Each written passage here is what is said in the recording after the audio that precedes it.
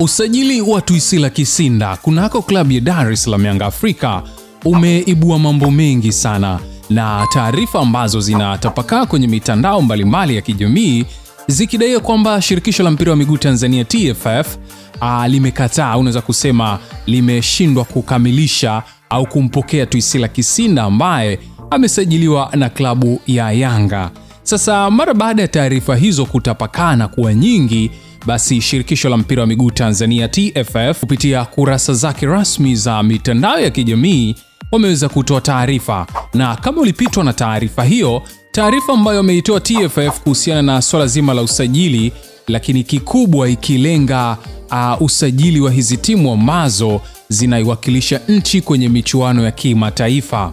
Taarifa hiyo ilikuwa ikisomeka hivi: usajili wa wachezaji wa kigeni hasa kwa vilabu ambavyo timu zao zinacheza mashindano ya kimataifa ulishapitishwa na kamati ya sheria na hadhi ya wachezaji ya shirikisho la mpira wa miguu Tanzania TFF. Kamati ya sheria na haki za wachezaji katika mazingira maalum ilishughulikia haraka usajili wa wachezaji hao wa kigeni ili wawahi usajili wa shirikisho la mpira wa miguu barani Afrika CAF. Wachezaji wote wa vilabu hivyo ambavyo ni Azam, Geita Gold, Simba pamoja na Yanga walishapewa leseni zao kwa ajili ya msimu mpya wa 2022-2023 ambazo pia ndizo zinatumika kuwaombea usajili kwa ajili ya mashindano ya CAF. Kwa mujibu wa kanuni ya 62 kifungu cha kwanza ya ligi kuu toleo la 2022, klabu hairuhusiwi kusajili wachezaji wa kigeni wasiozidi 12. Hivyo klabu kutaka au kujaribu kusajili wachezaji zaidi ya idadi hiyo ni kwenda kinyume na kanuni. Imetolewa na Clifford Mario Ndimbo, ofisa habari na mawasiliano wa TFF Septemba 5, 2022. Sasa hiyo ndiyo taarifa ambayo wameitoa TFF kuonekana ya kwamba wakiendelea kuzitafsiri na kuzijulisha zile timu ambazo zinashiriki michuano ya kimataifa au zile timu ambazo zina wachezaji wa kigeni ambao wanashiriki pia michuano ya kimataifa, hapa wakimaanisha Azam, Geita Gold, Simba pamoja na klabu ya Yanga. Sasa mara baada ya taarifa hiyo, mashabiki na wapenzi wa soka nchini Tanzania, lakini pia hata mashabiki wa klabu hiyo ya Yanga wameonekana kutokupendezwa au kuachwa njia panda, na wakijiuliza maswali kama klabu yao ilikuwa inafahamu sheria zote hizo, imekuwaje sasa wakamsajili Tuisila Kisinda na ni nini hasa kimetokea hapo? Sasa tukamtafuta mmoja kati ya wachambuzi wa mpira nchini Tanzania, lakini pia na huyu amesomea masuala mazima ya sheria na kanuni za CAF na akitufafanulia kiundani zaidi kuhusiana na sheria hizo za usajili wa wachezaji wa kigeni kunako TFF lakini pia kunako kafu na vipi kuhusiana na swala la Tuisila Kisinda. Je, kuna nafasi yoyote ile ambayo huenda Tuisila Kisinda akapata nafasi ya kucheza michuano ya kimataifa lakini pia kusajiliwa na klabu ya Dar es Salaam Yanga Afrika? Tuanze labda kwa, ku, kwa kusema kitu kimoja. Kwanza, kanuni za usajili wa TIF zinataka ili mchezaji aweze kukamilisha uchezaji ni lazima akamilishe kila kitu ndo apate leseni. Ukianzia hapo eh, kwa, ma, kwa, kwa maana kwa maana gani? Unasema ukienda kwenye kanuni ya za usajili una, unakuta kabisa eh, eh, kanuni ya ya sitini na tano ya mambo ya usajili ya ligi kuu ina, inatamka wazi katika vipengele vyote kwamba ili mchezaji aruhusiwe kucheza ndani lazima apate leseni ya usajili. Timiza vitu vyake vyote vile vya usajili ni lazima upate leseni. Lakini pia wakati huo inaenda kanuni ya sitini na mbili ambayo imeongezwa msimu huu na inasema katika wachezaji wa, wa, wa nje ni lazima wafike kikomo ya wachezaji kumi na mbili. Ile kanuni ambayo imeongezwa sasa hivi ni mpya uh, ambayo ni kanuni ya sitini na mbili moja inasema klabu ya ligi kuu inaruhusiwa kusajili wachezaji kumi na mbili wa kigeni kutoka sehemu yoyote duniani na wana uwezo wa kucheza wote. Kwa maana hiyo kwamba ili uweze kusajiliwa kucheza ligi kuu ya Tanzania bara ni lazima uwe na ukizi vigezo ambao utapatiwa leseni ya kucheza ligi kuu.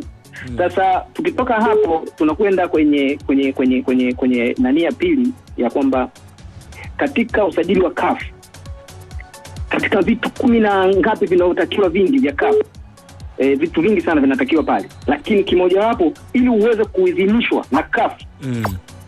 kuweza kuweza kuweza kuweza ku, ku, ku, ku, ku, ku, ku, ku, kukubaliwa kucheza mashindano ya CAF Interclub Mm. kuna mambo manne katika vitu vyote Mm. kwanza e, e, e, ni lazima u, u, uwe na leseni ya shirikisho mama yaani shirikisho kama hapa Tanzania uwe na leseni ya TFF ile leseni ambayo inakuruhusu wewe kucheza ligi ya ndani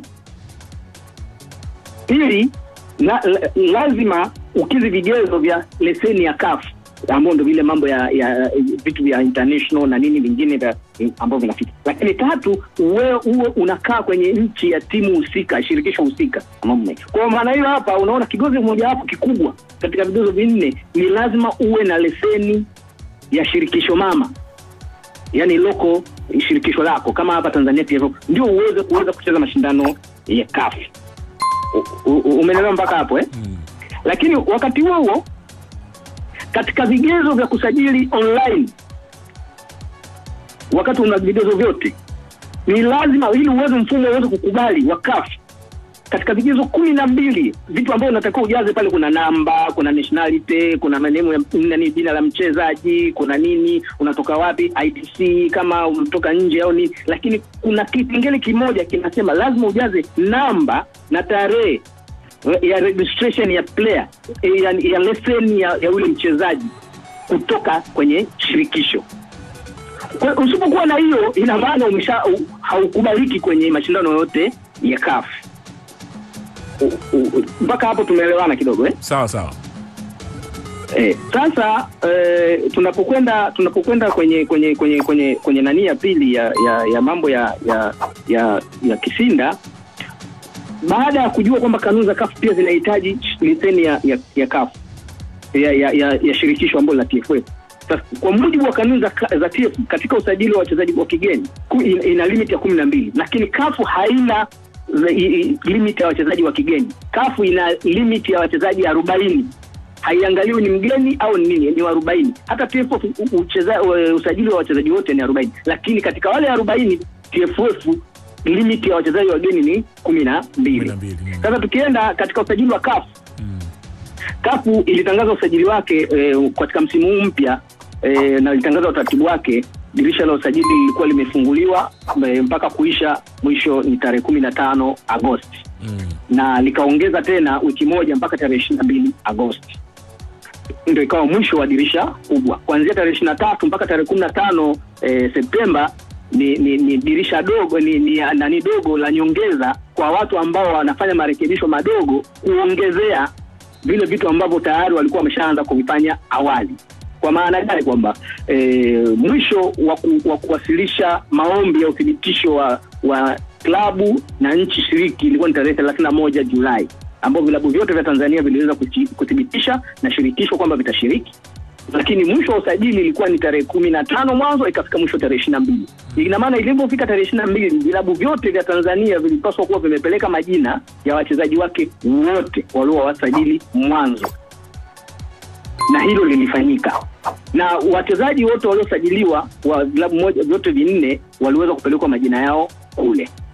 Sasa katika muda huu uliokuwepo hapa dirisha la usajili la TFF linamalizika tarehe thelathini na moja agosti. Lakini dirisha la nyongeza la kafu linamalizika tarehe kumi na tano septemba. Kwa wale watu pekee ambao wana uwezo wa kuongezewa. Kanuni za, za, za CAF zinataka kwamba zinasema kwamba kabla ya dirisha la mwisho kuisha ambayo ilikuwa ni tarehe ishiri na mbili una uwezo wa kubadilisha kitu chochote una uwezo wa kuamendi kitu chochote na kila kitu. Lakini baada ya dirisha kufungwa ile ile siku ile nani ya ile tarehe ishiri na mbili kufungwa ile muda wa ziada unaotolewa ile mpaka tarehe kumi na tano una uwezo kuadidi kuongeza tu idadi ya wachezaji. Kama walikuwa hawajazidi idadi kamili hawajafikia idadi kamili ile arobaini. Kwa hiyo kama umesajili wachezaji hawajafika arobaini kafu unaruhusiwa kuongeza Mm. katika muda baada ya huo huu hapa mpaka wafikie idadi ile inayotakiwa lakini jumla ya idadi imetajwa unatakiwa uongeze wachezaji saba tu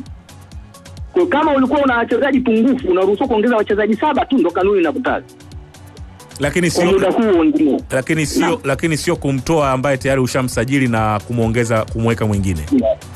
Yeah, ikifika tarehe ishirini na mbili dirisha linapofungwa huruhusiwi kuondoa dirisha kuondoa jina lolote lililoko kwenye listi bali unaruhusiwa kuongeza tu. Kwa maana gani? Pale tayari majina yote yanakuwa ameshapata leseni yaliyokuwepo kule. Kwa hiyo na mtu yote akishapata leseni ya CAF haruhusiwi kwenda kucheza timu nyingine yoyote kwa muda huo kwa sababu atasomeka jina lake liko kwenye klabu A.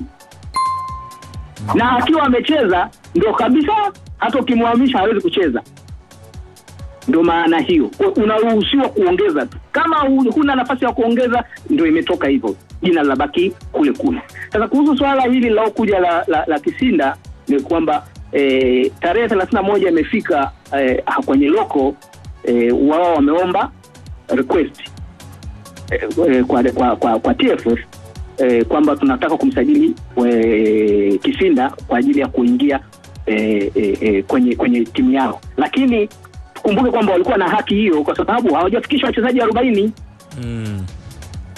walikuwa na haki kwa sababu wachezaji wa, wa, bado wanao wachache, sio hawajafika arobaini. Kwa hiyo walikuwa na haki ya kuingiza, na system ya TMS inaruhusu wachezaji hata ukaomba wachezaji mia inakuruhusu, kwa sababu tuna request. Lakini sasa approve inapatikana kutoka kwenye shirikisho mama kulingana na sheria, kanuni za sehemu husika.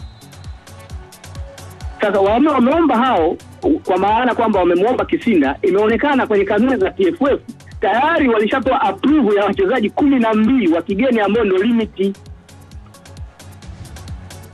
Yule mchezaji ambao wanataka kumwondoa, wamemwomba, wanaweza kumwondoa kama Kambole, tayari ameshapewa leseni ya uchezaji wa TFF, ligi imeshaanza na majina yale yameshaenda kafu kabla ya muda ukufungwa kufungwa, na wameshapata leseni ya kafu.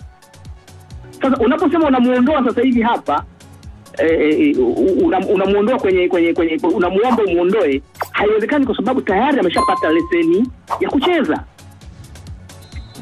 Ume- ume- mpaka hapo eh? Na kule TF kule kafu huwezi kumuondoa kwa sababu tayari muda umeshapita, na huwezi kumwacha ataendelee kucheza kafu mtu mwingine kumuondoa kafu, kwa sababu sheria ya kafu anasema mwenye leseni ya kule ni lazima awe na leseni ya wapi ya loko na tayari anayo leseni. Kwa hiyo cha kufanya hapa, kwa nini e, timu A au Yanga waliomba request ya kuongezewa mchezaji wa kigeni wa kumi na tatu wakati tayari walishapewa approve ya wachezaji kumi na mbili. Kwa hiyo wao walipaswa kwanza wapunguze idadi ya wachezaji wao, waombe request. Kanuni inasemaje kwenye e, mchezaji akishapata leseni unaweza kumwondoa kwa kutumia kanuni gani? Mchezaji akiwa na leseni, kitu pekee ambacho kinaweza kumwondoa ni transfer, Uhamisho. uhamisho. Basi yaani, huwezi kusema unamuondoa huyo wakati tayari ana leseni, wakati ana mkataba. Kanuni kanuni kanuni kanuni eh, kanuni ya ya ya ya ya ya ya ya ya ya, ya, ya nini eh, ya usajili kwenye mikataba, kanuni ya sabini na nne